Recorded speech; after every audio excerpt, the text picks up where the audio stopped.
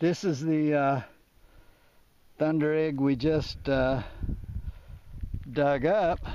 It's got a lot of interesting crystal formations in it. Look at those little fine ones right by my glove there. If you, you're probably too close to focus. Those are just really, that's really interesting, dear. Very interesting. What about the other one? I hate her to drop it. Oh, I could have picked it up. I guess. This is the other one. There's the other half of that uh, crystal formation.